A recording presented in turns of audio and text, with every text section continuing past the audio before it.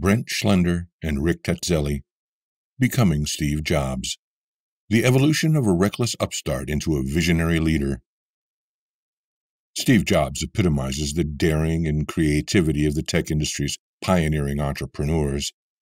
Idolized by many, he has become an almost mythological figure, a knight crusading for innovation and immaculate design.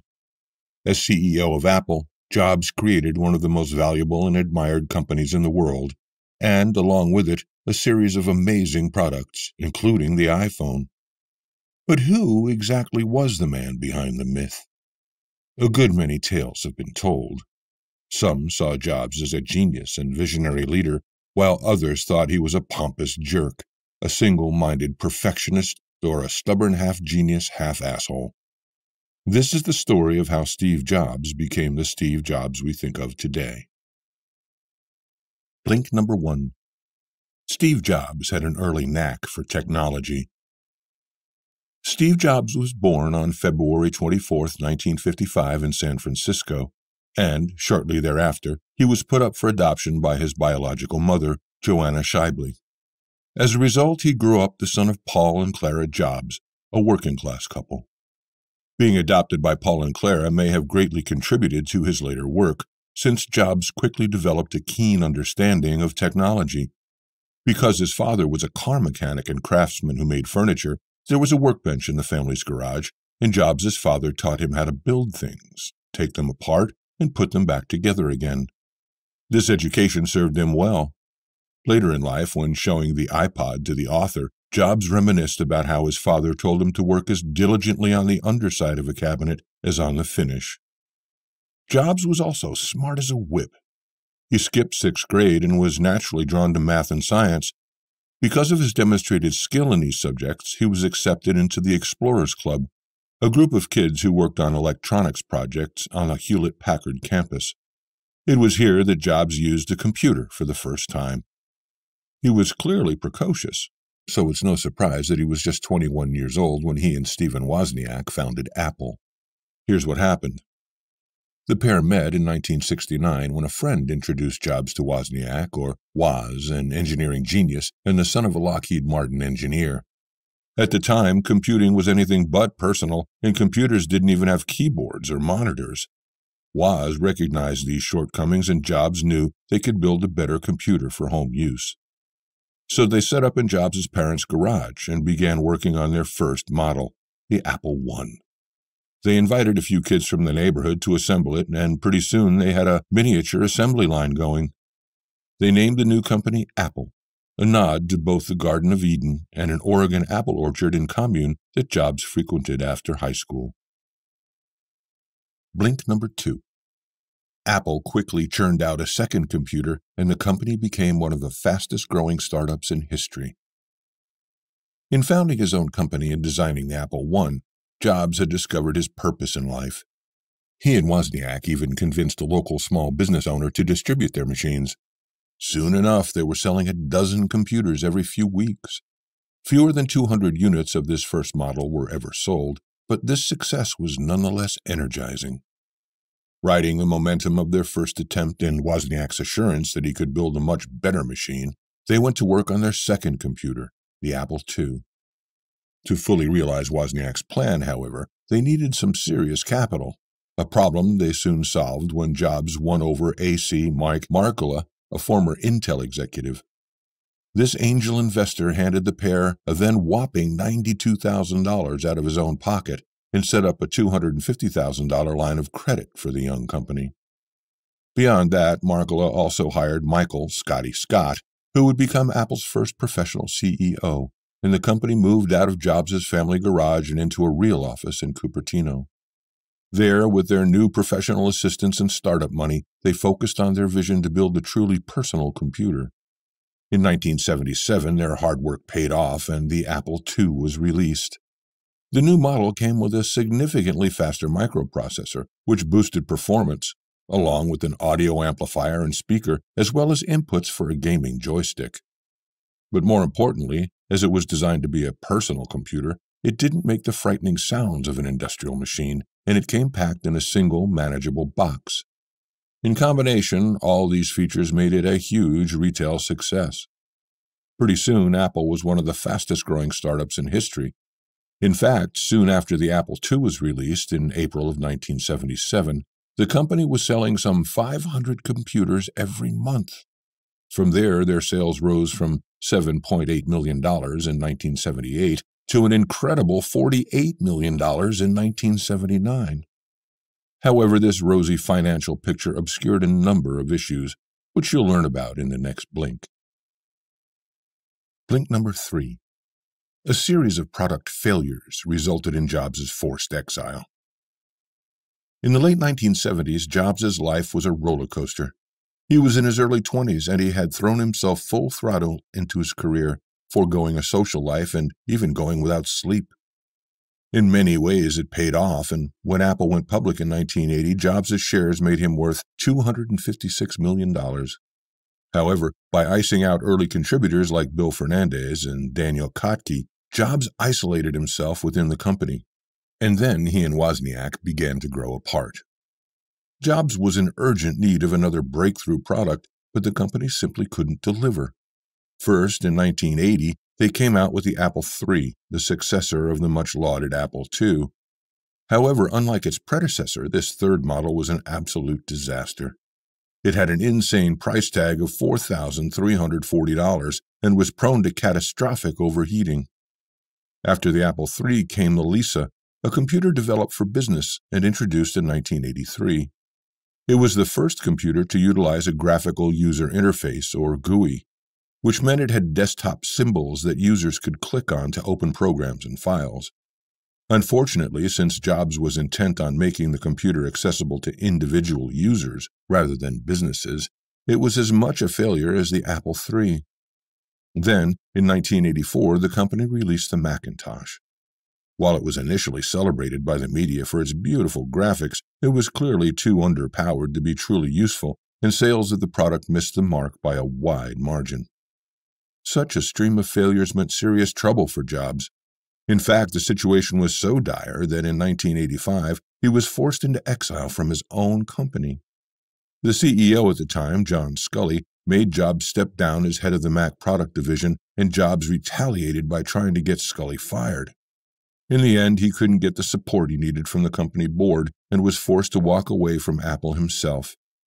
Nonetheless, Jobs was more determined than ever to create the next big thing. Blink number four. After leaving Apple, Jobs continued trying to revolutionize technology, but with little success. Though forced out of Apple, Jobs was not about to give up. He was ready to plot his tech revolution, and with investors and the media hailing him as a genius, he was certain he could be a great CEO. He was also certain that he was the only person alive who could create such amazing products. So in 1985, he founded the computer company Next. But success didn't come as readily as he'd assumed it would. The firm started out with the idea of developing a computer geared toward the specific needs of the higher education market, catering to universities and academic professionals. The academics Jobs spoke with told him that they couldn't afford a penny above $3,000, Yet when Next finally released its first computer in 1988, the retail cost was a shocking $6,500. And that wasn't even the total cost for a fully functioning Next system. For the full works, users were really looking at something closer to $10,000. Naturally, at this price, the product had no chance. The product's demise is actually a good example of a general tendency Jobs had he was so driven by innovation that he seemed practically incapable of noting the trade offs that his choices necessitated. For instance, he chose an optical disk drive for the storage of information rather than a more conventional hard drive. The disk drive did have certain perks, like the ability to store 200 times more information and the option for removal from the computer. However, pulling information off an optical drive was impossibly slow, and nobody actually needed a removable drive. Things weren't going well at Next, but Jobs also had another project. He'd become the major owner of Pixar. This firm was a computer subdivision of Lucasfilm, which was responsible for the incredible special effects in movies like Star Trek II and Young Sherlock Holmes. The company caught Jobs' attention because of the high tier software they developed for the manipulation of 3D images. When all was said and done, it would be his experience at Pixar that would lead him back to Apple. Blink number five. In the early 1990s, Microsoft dominated the computer industry, but success at Pixar reinvigorated Steve Jobs. While Jobs struggled to pull together his vision for Next, which was drifting disastrously, another tech star was rising. This was Bill Gates, the founder of Microsoft. During the 1990s, his company was dominating the industry as Next and Apple alike began fading into the past. In fact, by 1991, Microsoft was already the world's leading software company. This might have had something to do with the fact that while Apple and Next didn't license their operating systems for other manufacturers, Microsoft's operating system, Windows, became the industry standard for every personal computer not produced by the other two companies. This wide appeal rocketed Gates into the elite circle of the super rich, but it also made clear the fundamental differences between him and Jobs. For instance, Jobs was always set on creating the best, most aesthetically pleasing and innovative machine possible, Gates, on the other hand, didn't care much for revolutionizing the computer industry. Rather, he wanted to ensure reliability and gradual improvements, which is exactly what millions of corporate customers also craved. Because of this difference, Gates became arguably the most important business person on Earth, while Jobs looked on from the sidelines. But that would all change as the success of Pixar gave Jobs new confidence. Here's what happened. In 1995, Pixar partnered with Disney to produce its first animated film, Toy Story, which went on to be a smash success. This masterstroke also coincided with Pixar's initial public offering, making Jobs, who owned 80% of the company's shares, a billionaire overnight. Oddly enough, the release of this animated film for children is what catalyzed Jobs' rise from the dead. It boosted his confidence, and his experience at Pixar had also taught him about good management during his tenure at the company, he learned from John Lasseter and Ed Catmull, both of whom ditched micromanagement at Pixar, enabling their creative employees to run with the freedom they needed. Link number six. Returning to Apple in 1997, Steve Jobs put the company back on track. So the release of Toy Story put Jobs back in the spotlight. Nonetheless, Next was still struggling, the company's products weren't selling, and Jobs' dream that the company would produce the world's next great computer was toast. It was by far the low point of his career. Things were so bad that Jobs shut down production entirely, shifting the company's focus to software development, specifically its operating system, NextStep, which at least brought in a small profit. But if the situation with Next sounds dire, just wait till you hear what was going on with Apple. By the mid 1990s, the company was effectively a sinking ship. It had no promising products in the pipeline and was still failing to modernize its operating system. Beyond that, Apple had way more employees than it could afford. As a result, in the first quarter of 1996 alone, the company lost $750 million. Jobs watched the downfall of the company from a distance, but it was painful for him nonetheless. And then an unforeseen opportunity popped up. Apple, in search of a shortcut to a more advanced operating system and a way out of its crisis, was looking for software companies to acquire. Jobs threw his hat into the ring, and in late 1996, Apple purchased Next. Just like that, Jobs was back at Apple. Over the years that followed, he worked hard to reestablish Apple as a profitable computer industry leader. This process began with the forced resignation of the CEO, Gil Amelio, whom Jobs described as a bozo. With Amelio out of the picture, Jobs was offered the position and retook the reins. Though finally back in power, Jobs was initially indecisive, which was a first for him. In fact, during the last few years, he had largely overcome his impulsive tendencies, learning to make careful, measured decisions. Thankfully, this initial indecision didn't last, and by 2000, Apple was shipping out tons of groundbreaking products, including the iMac and Power Mac. It was this technological innovation that remade the company and brought it out of the red. But how exactly did Jobs accomplish this? You'll find out in the next blink. Blink number seven. With the development of iTunes and the iPod, Apple entered the mass market and rebuilt itself. So Jobs succeeded in transforming Apple from a deeply troubled company into a soaring business. But how exactly? First, he trimmed the firm down to a size that was appropriate to its resources. In the process, thousands of employees were laid off, but Jobs was able to inspire those who stayed to buckle down and create a whole new line of incredible products.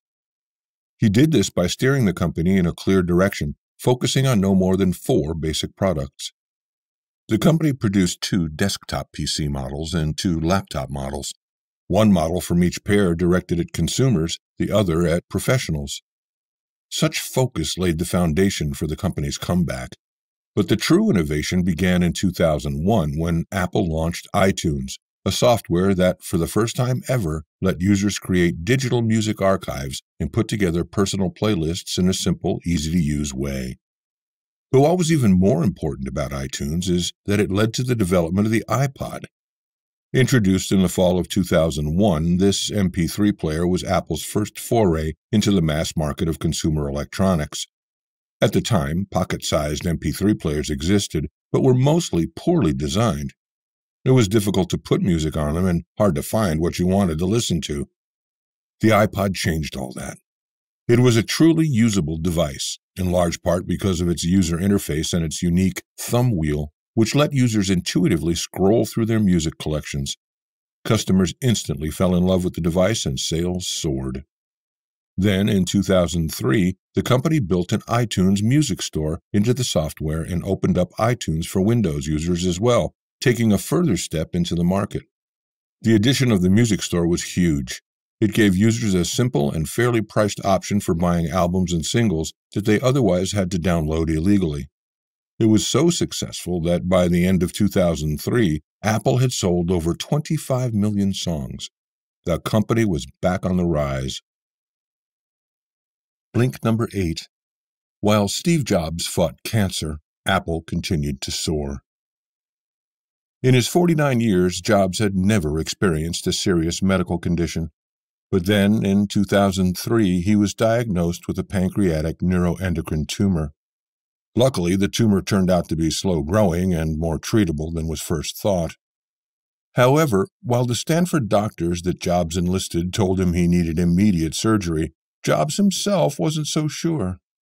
Ignoring their advice, he opted first for an alternative, less invasive treatment, an augmented diet. This route was insufficient, however, and in 2004, without any other options, he finally did have the tumor surgically removed. The operation was highly invasive, and Jobs spent practically an entire day on the operating table.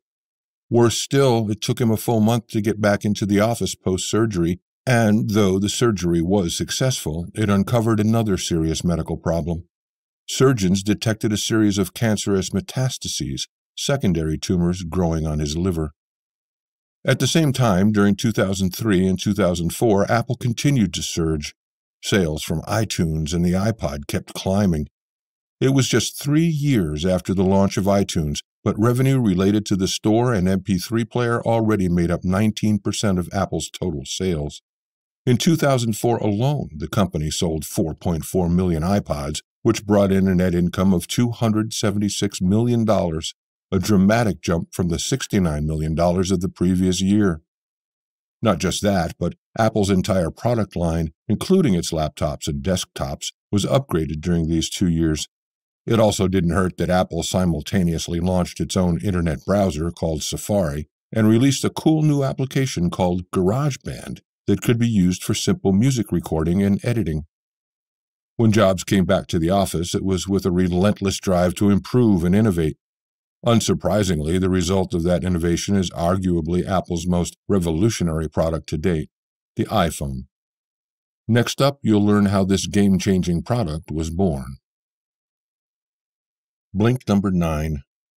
The release of the iPhone changed technology forever. In 2007, there already existed devices that were being described as smartphones, like the Blackberry and the Palm Treo. All of them were fine for checking email, finding a contact in your address book, or checking your calendar. But when the iPhone first hit the shelves that summer, it clearly offered something different. In many ways, it was the world's first truly smart phone. What really set the iPhone apart was its full size touchscreen, which made making a call as easy as swiping a finger. The larger screen also enabled users to view full featured websites, photos, and videos in a way previous phones hadn't. Another difference was that while the existing smartphones all had a massive fixed keyboard, the iPhone didn't have a built in keyboard at all. Instead, the keys only displayed on the screen when needed. How did this incredible innovation come into existence? Apple had actually been tinkering with the touchscreen technology since 2002, but for different reasons. Their hope at the time had been to find a more intuitive way for users to interact with computers beyond the confines of a keyboard and mouse. As they began experimenting with multi-touch, as the technology is called, they found that it was both fun and effective. In another sense, the iPhone was just a natural progression from the iPod, combining a phone, an iPod, and a computer in a single, beautifully designed product. That all being said, the phone did have an initial problem. Because of Apple's refusal to allow outside developers to build applications, there weren't a ton of apps to choose from. It was only in November of 2007 that Apple revealed its intention to release a software developer kit, which may have been the greatest breakthrough the product offered. All of a sudden, anyone who wanted to could create apps, making the iPhone truly versatile. As a result, the iPhone remains the most successful consumer electronics product in history. Over half a billion iPhones have been sold since 2007, and, of course, Apple has profited tremendously. Link number 10. The iPad and the MacBook Air were Steve Jobs' final accomplishments. So Apple was doing better than ever but the same couldn't be said of Jobs. His cancer never went away, and his health was declining. But despite this fact, his illness also never overshadowed the daily business of Apple. While the board of directors began to discuss succession plans, for most people at Apple, Jobs' declining health was a total mystery. After all, even as his health deteriorated and he knew time was running out, Jobs refused to give up. Because of his dedication, the company released the MacBook Air in 2008 and, two years later, the iPad. At the time, the former product was Apple's new IT device. It was thinner than any previous laptop, effectively the computer equivalent of a supermodel. From there, the iPad further revolutionized the industry in 2010. If the iPhone was a miniaturized computer, the iPad was a blown up iPhone. When it was released, Jobs unveiled its functions while comfortably sitting on a couch, demonstrating how easy it was to use. And in fact, the iPad did offer a much more intimate experience than a laptop, easily bringing computing into the living room. This casual presentation was perfect, but it was also necessitated by Jobs's poor health. He had lost an alarming amount of weight, and the prospect of death was becoming undeniable. In early 2009, he received a liver transplant, but it was to no avail. And on Tuesday, October 5, 2011, Steve Jobs passed away. As you might imagine, the funeral services were magnificent. When he was buried on October 8th, there was a small ceremony, family, close friends, and companions from Apple. But another service followed on October 17th at Memorial Church on the Stanford University campus and then another on October 20th at the Apple headquarters in Cupertino with almost 10,000 people in attendance. Following Jobs' burial, his longtime colleague and friend Tim Cook took over as CEO of Apple, and he's continued to advance Jobs' legacy, a legacy of growth, success, creativity, and innovation. Thank you for choosing to hear our blinks to the book Becoming Steve Jobs by Brent Schlender and Rick Tetzeli. What we hope you'll take away from this story of success, innovation, and growth is the knowledge that even from an early age, Steve Jobs had a talent for technology. When he co founded Apple in his 20s, he already had a vision of what computers could become. Though a sometimes impulsive and difficult man, he was also a dreamer and trailblazer, and an inspiration to millions worldwide.